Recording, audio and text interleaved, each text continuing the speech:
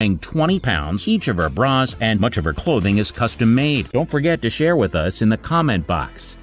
Having the giant fake fronts is certainly a special adventure for Basheen. Basheen is the most popular woman with the largest fake fronts in the world, while woman with the largest natural fronts in the world goes to Annie Hawkins Turner, who won the Guinness World Record for her 48V bra size.